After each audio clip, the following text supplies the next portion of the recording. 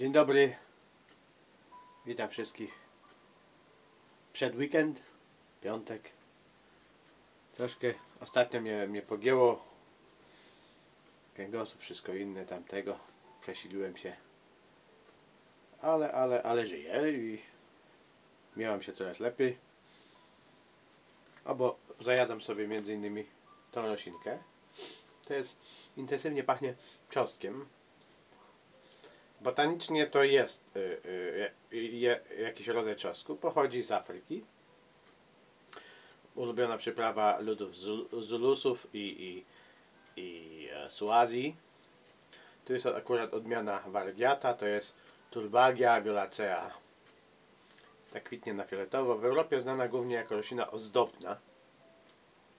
Uprawiana w ogródkach dla pięknych kwiatów.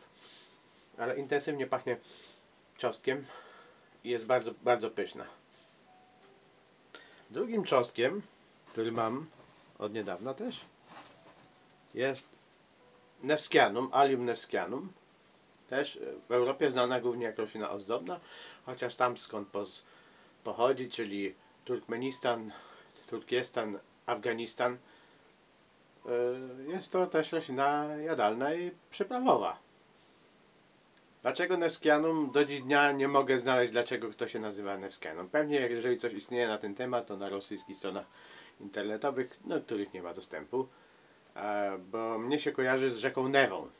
Ale w Afganistanie, w Turkmenistanie nie ma rzeki Newie, ale mogli być Rosjanie.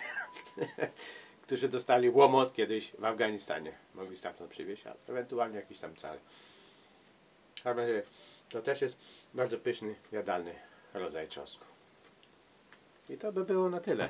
Trzymajmy się, pogodnego dnia, życzę wszystkim ja.